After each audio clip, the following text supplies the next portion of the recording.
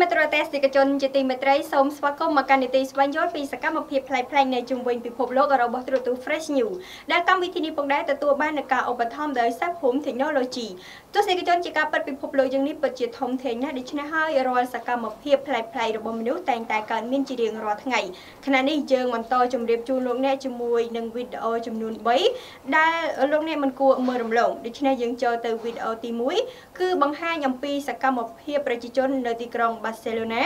បានប្រារព្ធពិធីមួយដើម្បីគោរពព្រះជាម្ចាស់របស់គេដោយតម្រៀបមនុស្សឈរនៅលើគ្នាប្រជាជននៅទីក្រុងបាសេឡូណាបានសាងសង់ប្រាសាទដ៏ប្លែកមួយដែលធ្វើឡើងដោយការតម្រៀបមនុស្សឈរនៅលើគ្នាការធ្វើបែបនេះគឺដើម្បីគោរពក៏ដូចជាដឹងគុណដល់ព្រះជាម្ចាស់របស់ពួកគេ ហើយវាជាទំនៀម ហើយទំនៀមទម្លាប់នេះត្រូវបានគេធ្វើឡើងជារៀងរាល់ឆ្នាំអ្នកចូលរួមនៅក្នុងពិធីនេះព្យាយាមបង្កើតប្រភេទប៉មផ្សេងផ្សេងពីគ្នាផងដែរ។ ប្រិមត្តរទេសនិកជនសម្រាប់វីដេអូជាបន្តគឺបង្វែរអារម្មណ៍លោកអ្នកមើលទស្សនាពីសកម្មភាពរបស់ចិនសង្ហបុរី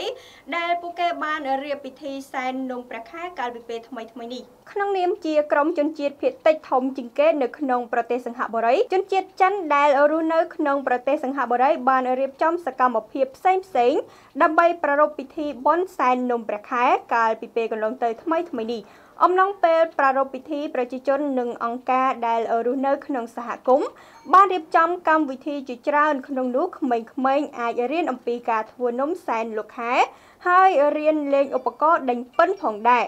ចង្កៀងគោមចម្រុះពណ៌ជាច្រើនត្រូវបានគេធ្វើឡើងដើម្បីបង្កើនភាពស្រស់ស្អាតនៅក្នុងឆ្នាំ2018នេះហើយវាក៏បានពិពណ៌នាអំពីប្រវត្តិសាស្ត្រវប្បធម៌និងប្រពៃណីរបស់ជនជាតិចិនសង្ហបុរីជាច្រើនទសវត្សរ៍មកហើយ។ប្រិមិត្តរទេសនិកជនជាការពិតមិនត្រឹមតែមានចិនសង្ហបុរីបានប្រពៃពិធីសែននំព្រះខែនោះទេជាពិសេសប្រទេសជាច្រើននៅលើពិភពលោកក៏បានប្រពៃដូចគ្នាដូច្នេះចង់ដឹងថាប្រទេសណាខ្លះហើយប្រទេសនីមួយៗមានសកម្មភាពក៏ដូចជាពិធីរៀបចំរបស់គេខុសប្លែកពីគ្នាយ៉ាងណាបន្តតាមដានដូចតទៅនេះគឺជាប្រពៃណីនិងពេលវេលាដ៏ល្អមួយសម្រាប់ជួបជុំក្រុមគ្រួសារអ្នកស្រុកបានបង្ហោះចង្គៀងគោមយ៉ាងប្រុងប្រៀតរាប់ពាន់នៅលើអាកាសដែលបណ្ដាលឲ្យមានពន្លឺព្រះអាទិត្យនៅក្នុងតំបន់ពីងស៊ីតៃវ៉ាន់គោមត្រូវបានគេប្រើប្រាស់ដើម្បីធ្វើការទំនាក់ទំនងគ្នាទៅវិញទៅមករវាងមនុស្សនិងមនុស្សក្នុងនោះពួកគេបានឈរអុចនិងបង្ហោះគោមជាមួយនឹងការពងប្រាថ្នាសម្រាប់ឆ្នាំខាងមុខ ចង្គៀងគោមដែលមាន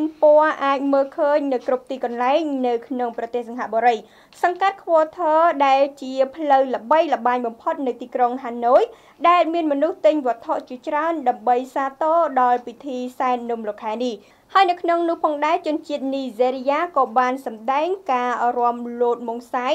ដែលជាប្រពៃណីទំនៀមទម្លាប់របស់ចិន